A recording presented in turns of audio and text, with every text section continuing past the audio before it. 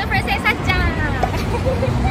好，那上次呢，我拍的用两岁半的小朋友测试日文发音的影片，不知道大家有没有看到了？那个时候的小白老鼠瑞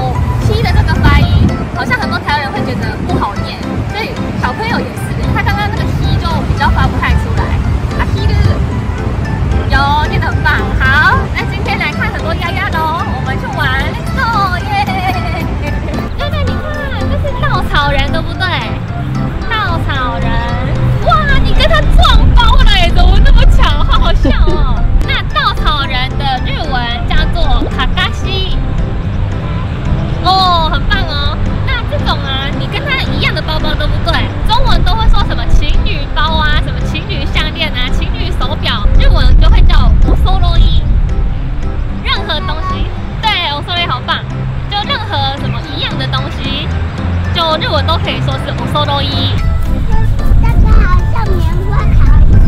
棉花糖真的嘞。棉花糖的日文叫做马须马罗，呃，马须马罗，马须马罗。对对，那个稻草啊，稻草的日文叫做瓦拉。对。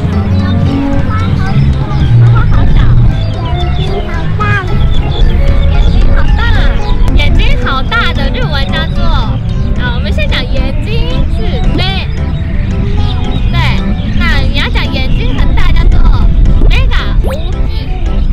嗯，很棒很棒。哇！刺刺的，刺刺的日文怎么说？チクチクする。哎，对对，讲一次。对，チクチクする。对对，我们看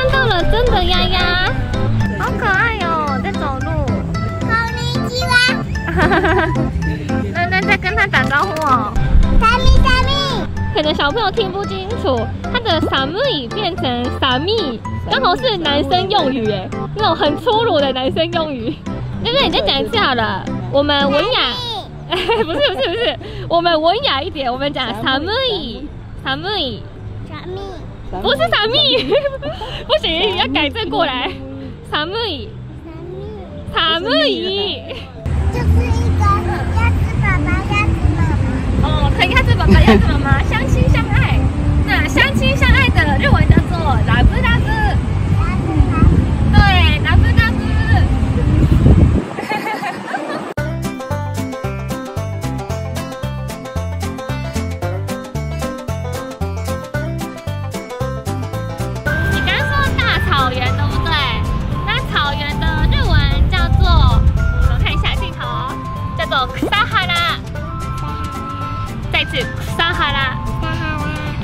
有一个跟上一集一样的问题，就是卡基克给过的科，你好像上次是不是也是？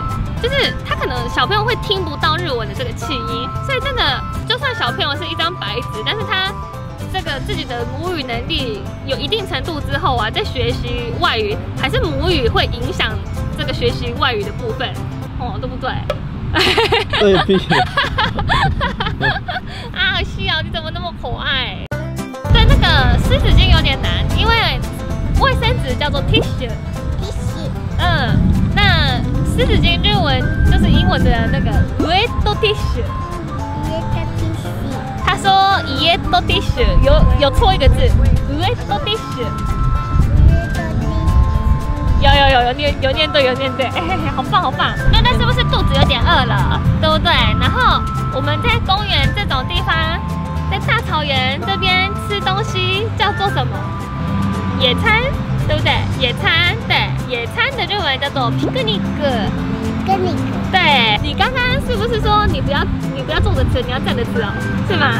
为什么？你要立食？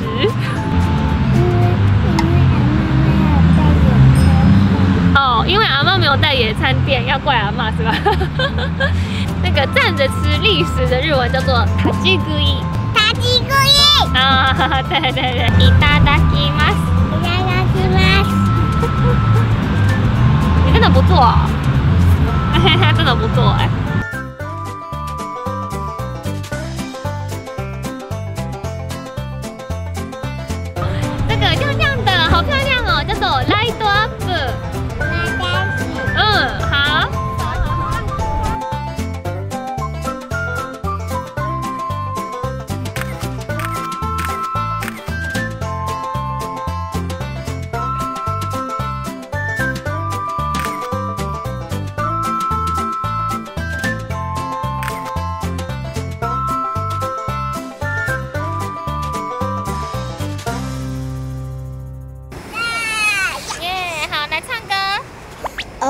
きな国の木の下ねあなたと私仲良く遊びましょう大きな国の木の下ね哇，瑞瑞今天学了很多日文单字，对不对？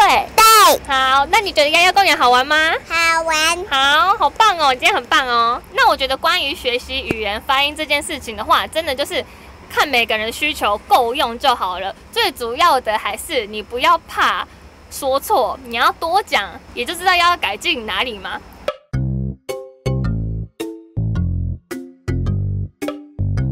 最重要的，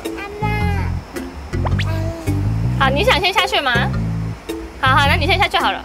好，那我觉得关于学习语言发音这件事情的话。因为每一个人需求不一样，大部分的人没有什么特殊需求的话，应该就是可以做沟通。就 OK 了。但像是我自己的日文课的学生。其实就有蛮多人有特殊需求。我有个学生，他是台日混血儿，他的母语是中文，然后他日文是后来才学的。那他的日文呢，已经真的学的很好了，但是就是还是有听得出来是外国人的感觉。但是他学习日文的目的是他想要去日本当声优，那这个就真的是非常特殊的需求人。那像我刚刚说的学生呢，还有很多其他人会有一些。特殊需求是他们的目标要求是一定要达到发音是日本人母语人士的标准。那一般人可能不用苛求到这样子。不过如果你的发音非常到地的话，会有一个好处就是你可能只要说出简单的一句，人家就会觉得哎。你的日文一定很厉害。像自我介绍，我说私は伊賀田幸子です。假设你的发音是母语人士的程度的话，就算你只会这一句，人家可能只光是听到这一句就会以为，哎，你的日文一定是超强的。我觉得发音会是一个有点先入为主的一点。那因为如果真的要讲说特别雕琢发音之类的话，我平常这样上课可能可以讲好几个小时，所以今天就没有在这边多说了。 之后我会有线上课程的部分，就是教日文啊，也有课程是特别教日文发音的部分。如果有兴趣的朋友，可以诶麻烦追踪我的 Facebook course Instagram，应该到时候。哎，课程上线了，会再做通知。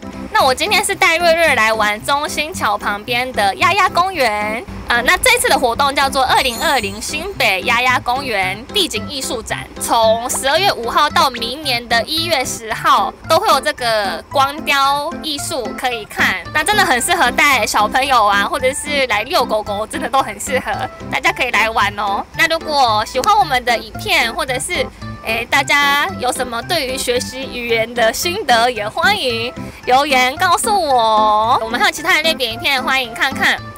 然后，你的影片快要好了呀？对，我的影片快要好了。然后呢，那个 我啊，每天都有用 Facebook、Instagram 用中日文分享资讯，欢迎追踪。那我们下一集影片再见，拜拜。